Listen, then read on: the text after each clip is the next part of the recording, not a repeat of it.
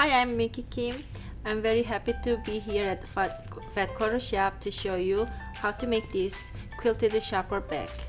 I like this bag of so much is because uh, it's very roomy, you can hold anything and it's quilted so if you can wrinkle it it still it's go back to where it should be and then also you can use uh, the inside out so it is one bag with the two styles I want to show you so make sure use your favorite fabric for the uh, exterior and lining also because you're gonna use it both way and I added the double cap rivet for the structure so it can hold the heavy things like your shopping purchases.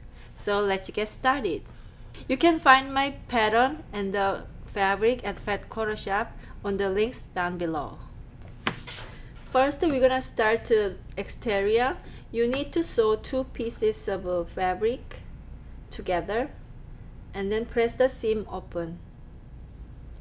And you and then next you need uh, foam batting I use ByAnnie's soft and stable and then it's a little slightly bigger than your exterior fabric that helps you quilting.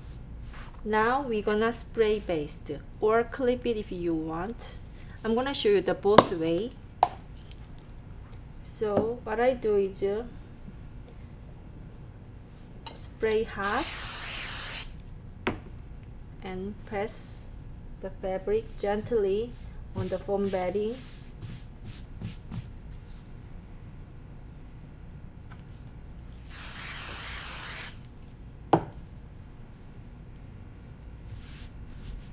like this.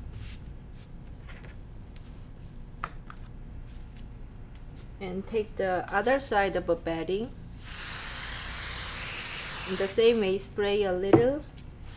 And place your lining fabric on top. And lining is a little slightly bigger than your foam batting so this is gonna be like this. And then if you don't have a, if you don't have the spray baste around your home then use the clip. That's what I use mostly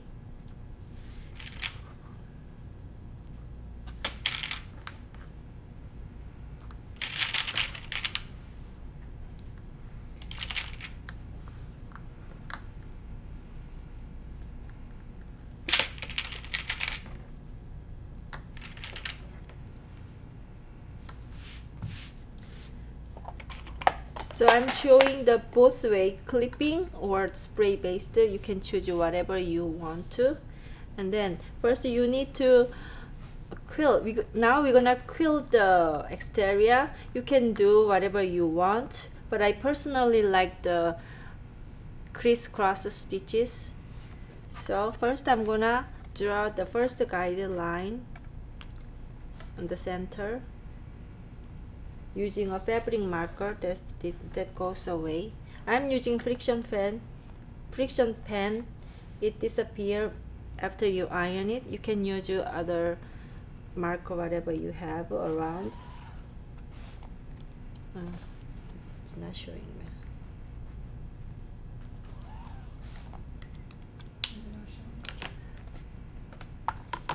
Now I'm gonna quilt. I set the seam guide bar at 1 inch and I changed the stitch length at 3. I used the 2311 because this uh, bag has light color and dark color combined. So I choose the because the this uh, white part is uh, more portion so I used the white color. So I'm gonna start quilting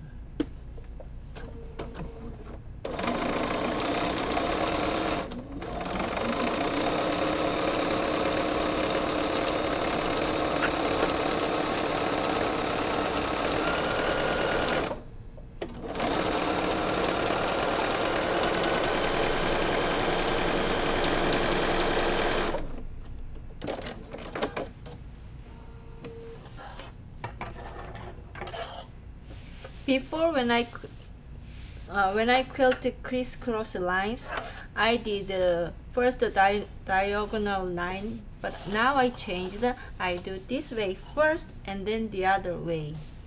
Because uh, when I sew the guide center line first it gets a little uh, wrinkly when I move on so this is uh, the way I found. So I'm gonna start. Sewing this direction first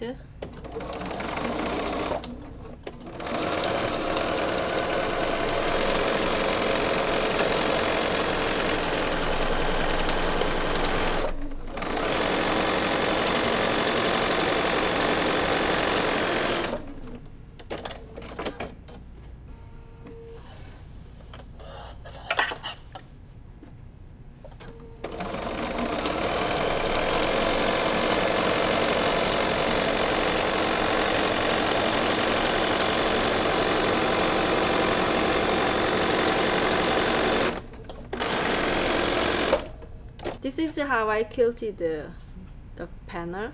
When you make the other one for the other side of a bag my tip is take this uh, panel on top of your finished one and then draw the guidelines so it matches the same angle. I'm gonna iron to erase the guide mark we did at the beginning. You just just lightly iron it then the Frixion mark goes away. Then I see it here.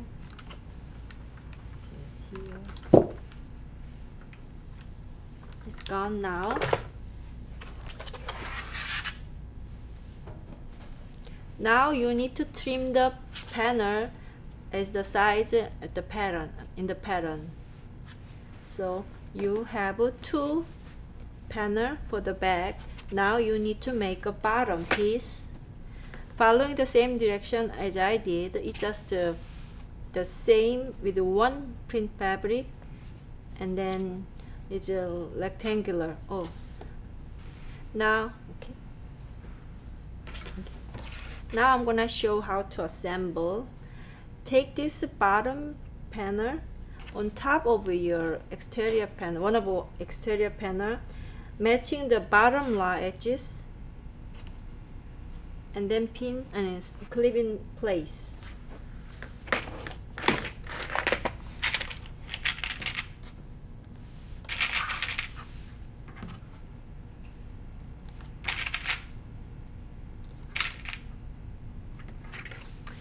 And then you can sew before you add the binding but I normally add the binding and then sew everything at once so you take a binding strip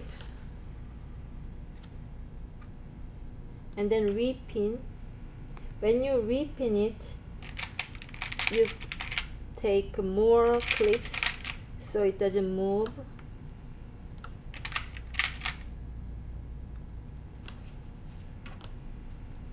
and I learned this tip from Kimberly at Fat Shop video she used a lot of pins. So at this point uh, I like to use uh, many clips.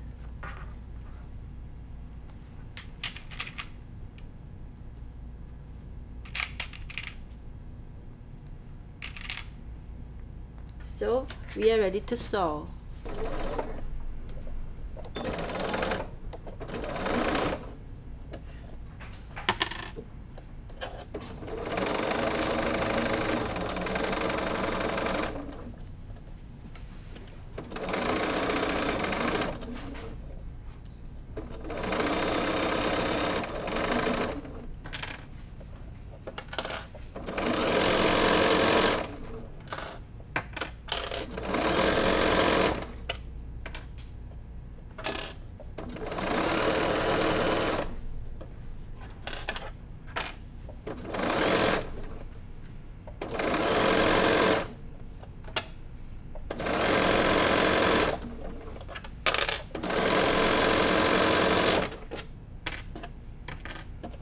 You see the binding? Strip slightly moves, but it's okay.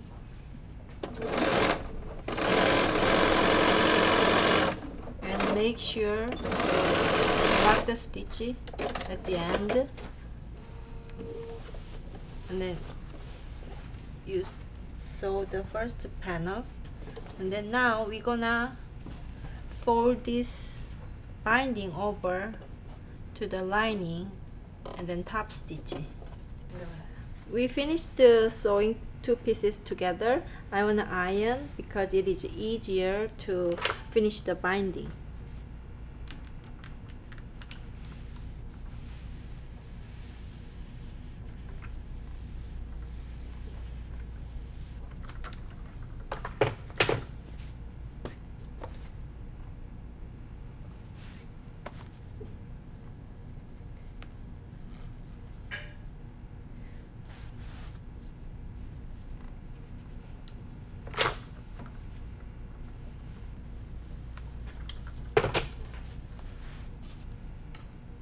now I like how the binding covers the, my first sew line.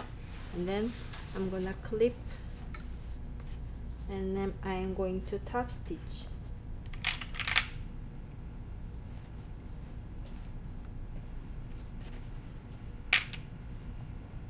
So why I don't iron the binding in the beginning is before I used to bind I before I iron the binding like this as many people does and then attach the binding.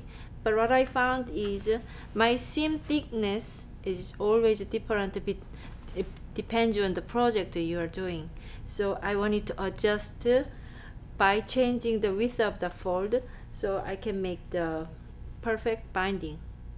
So let's get I'm gonna keep clipping and then I'm going to top stitching the binding.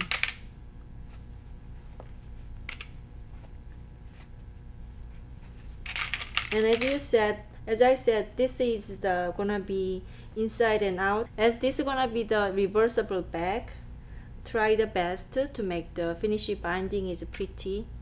So if you prefer you can hand stitch the binding but I want to show you how I top stitch it Use the first sew line as a guide. Cover the binding slightly and try to top stitch the sew line.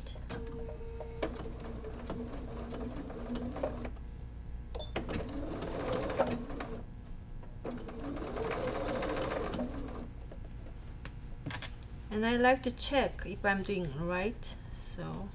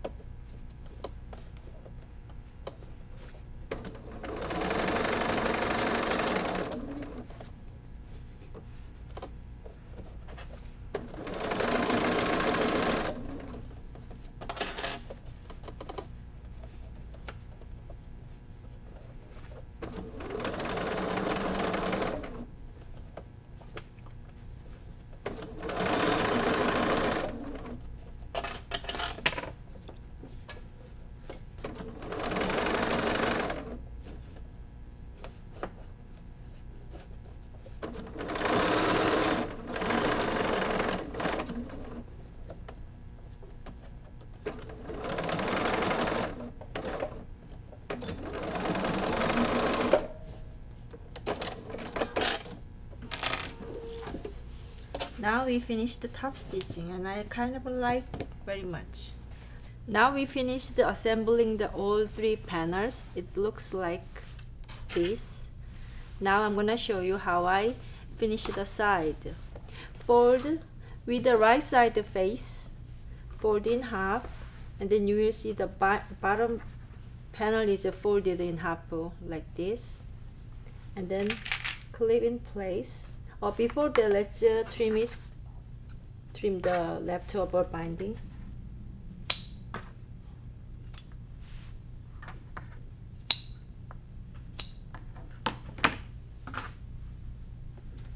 So fold in half of the bottom and then clip. And then clip.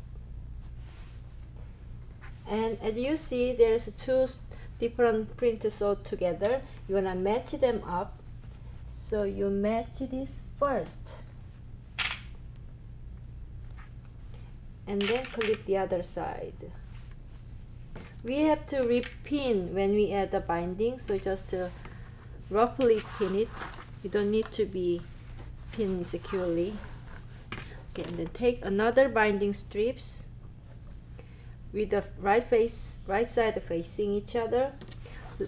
You need a little room about on the bottom because we need to wrap the binding end of the raw edges to cover. So I will show you how.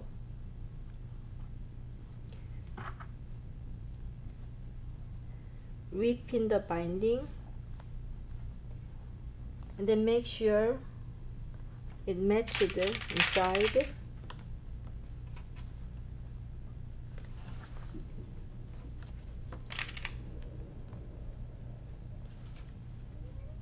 it's kind of a bulky.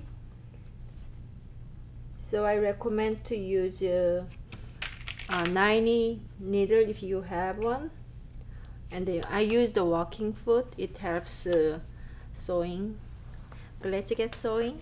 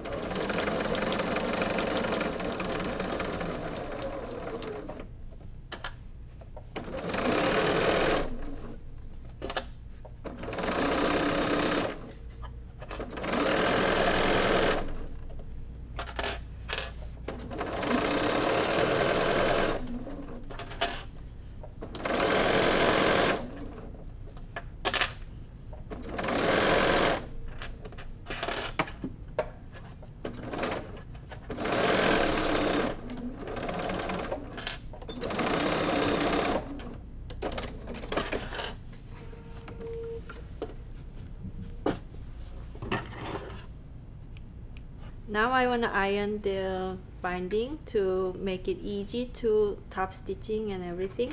Before that I want to trim it.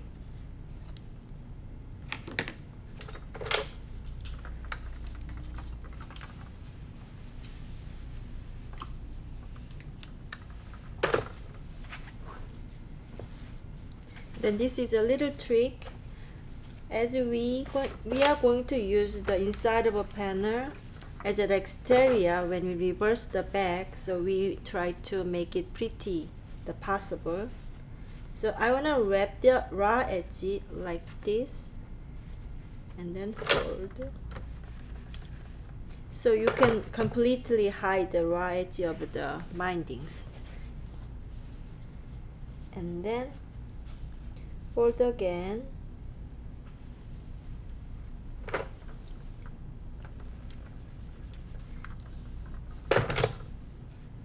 then it will be like this. Here's the my tip to completely hide the right of the binding. You fold over and then fold again. And then you're gonna sew we're gonna top stitch top stitch it like this. That way we don't see anything under. So we're gonna pin here.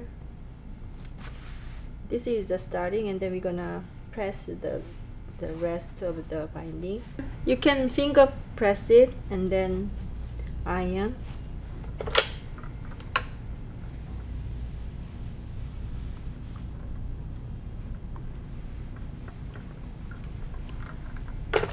so again this is the why I don't press the binding before I add the binding first and then press. Depends on the thickness uh, your project has so I'm gonna wrap the seam like this and then clip it.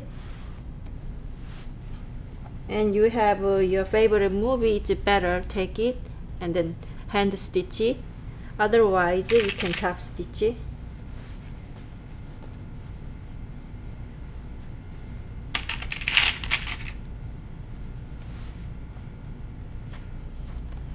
okay I give a nice press here.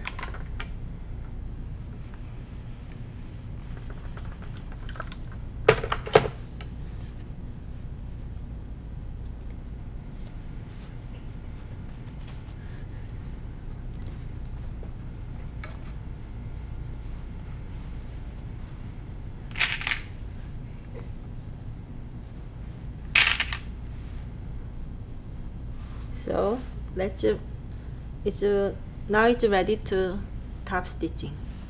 Again if you have a wonder tape you can apply here so it's easy to sew but I usually don't have it so I'm gonna sew like this.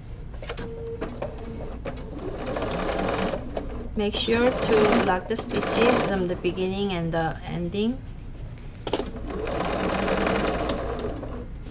and then cover you look at the sew line here and then cover with the binding.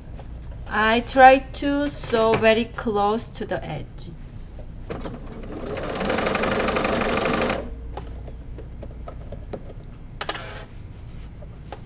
And again take your time. I've sewn back so many times so if you are the first uh, bag maker it won't take that fast. It it will it, may, it might take long, but once you know the basic assembly, it will be easier the next.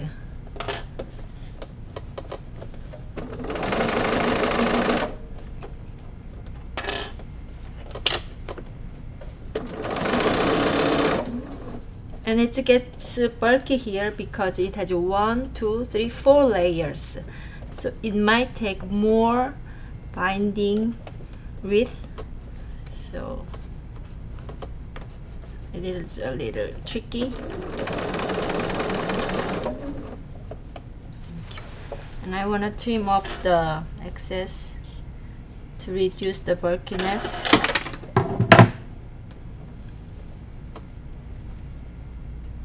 again.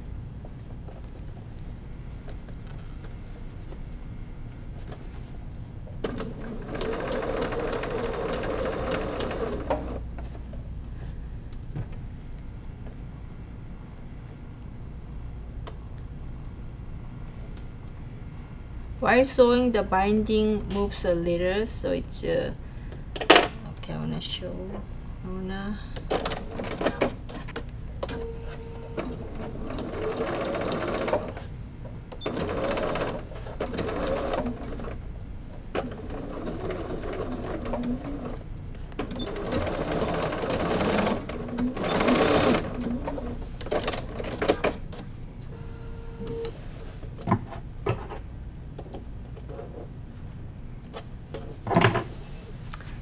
we finished one side now we're gonna finish the other side with the same technique.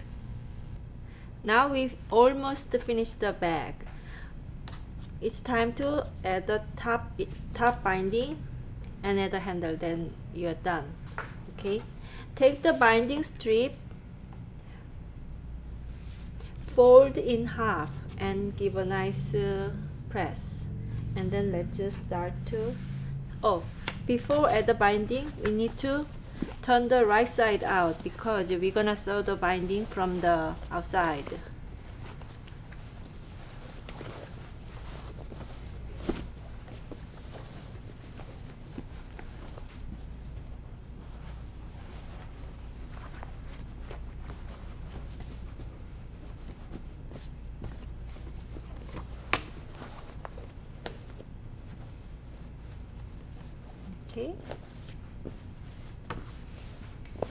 from here. Either way it's, it's the same front and back it's hard to tell which is which. So it's okay start anywhere. My tip is start your binding where the handle gonna be attached. That way you can hide the end. Now we finished adding the top binding. Let's add the handle. Before add the handle I want to show you how to make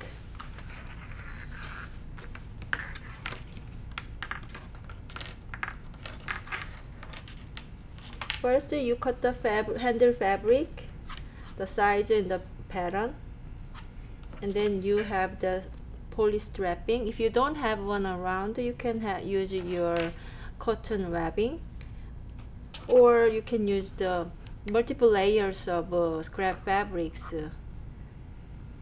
Okay, first you need to press in half of the handle fabric. I will show you how I did.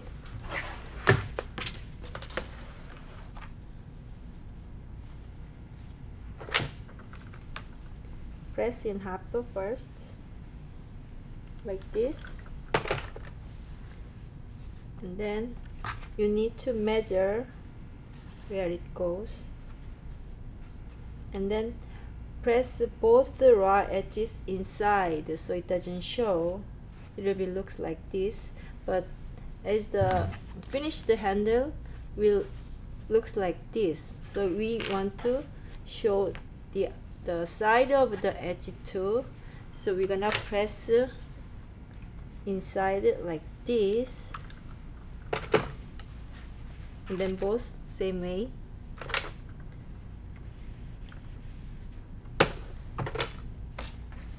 And then place your poly strapping aligning the center line that we already pressed in the beginning and then wrap it like this and then pin it. Before that I wanna put these inside and then pin clip.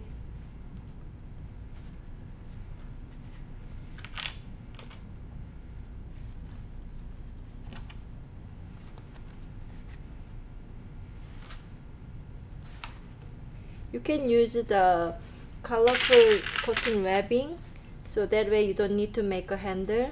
But it is always nice uh, to choose your fabric that goes with your bag. So if you have time and then material I recommend to you to make your fabric fabric handles. Or sometimes I recycle the handles from my old bag I save it and then I attach it to my new bags. That's another tip. So I will sew the handles. First all the way around and then sew again with the about a quarter inch. You have marked one inch from the, the handle end and then three inch from the side I would like to match this 1 inch mark right under the binding. So it will be looks like this. And then clip it. So inside will be like this. So this will be one inch inside. And then with the same manner you do the other side of a handle like this.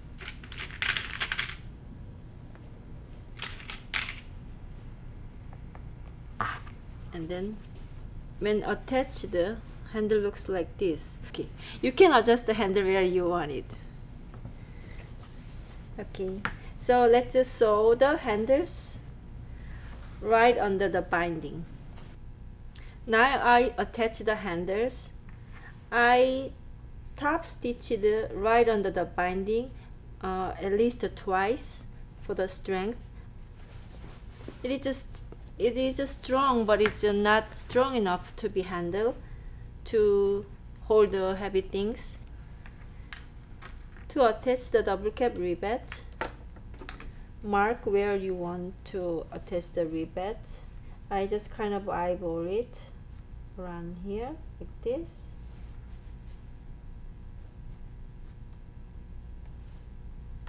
using a stiletto make a hole through the layers like this. But it's not it must not big enough to get through this uh, tool inside. So get the small scissor. This is uh, what I do when I don't have a small punchy. So make a hole. And then using a scissor make the hole a little bit bigger. But you don't want to push it too hard so it, the, the hole should not be bigger than this uh, the eyelet double this uh, rivet you have. Okay. So I try to make a just enough hole not too big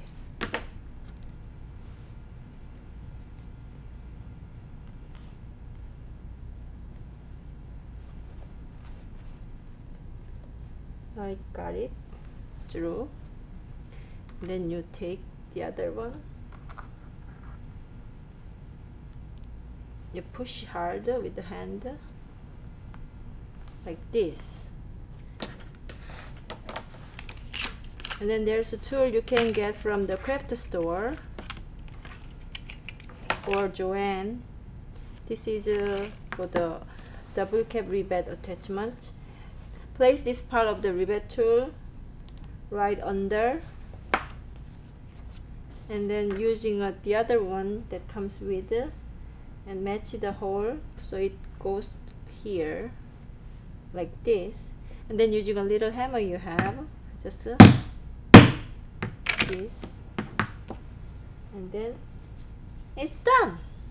Don't you like it? And then you repeat it. One two one two three more. So each handle has two rivets so when you're done it will look like this. Inside will looks like this. Now we finish the attaching the double cap rivet let's iron it the bottom. So what I do is uh, make a fold like this with a little bit of a steam that it gives you a nice shape Sometimes I clip the sides and let it overnight. That way it keeps the shape. Now we finished the quilted shopper bag. Thank you for watching. Please follow Fat Quarter Shop for more for more tutorials. And you can follow me at Instagram at zeriano and my website minkikim.com. Thank you for watching and hi I hope to see you again.